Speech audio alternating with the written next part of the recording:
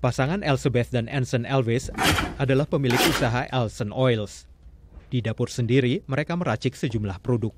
We produce everything for hair, face, and body. We have a full uh, body care line. Pasangan ini mendirikan Elson Oils tahun 2012 setelah kesulitan menemukan produk untuk anak-anak mereka yang memiliki kulit sangat sensitif. We can't find anything works for their skin. We start looking up and researching, and we come up with the natural ingredient, which is coconut. Bahan-bahan alami ini digunakan Elizabeth di masa kecilnya di Ethiopia. If we don't trust to put it in your mouth, you're not supposed to use it for your skin. I like the vanilla lip balm.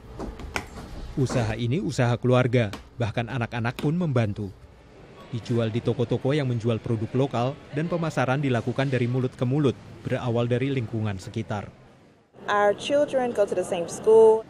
Shannon Jones misalnya adalah kenalan yang menjadi pelanggan dan sangat memperhatikan agar produk yang digunakannya berbahan dasar alami. I've been more conscious of what I buy, making sure that I um, purchase more natural products, um, especially in foods and um, most definitely with skincare. Elson Oils kini baru tersedia di 19 toko di wilayah Washington DC dan sekitarnya. Keluarga ini berharap dapat mengembangkan pasar ke seluruh Amerika. Dari Washington, tim VOA.